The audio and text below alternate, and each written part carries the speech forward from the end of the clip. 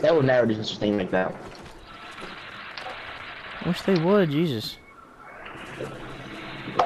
Okay, time to see what this fucking. Am I got any sniper ammo? Thanks, Hunter.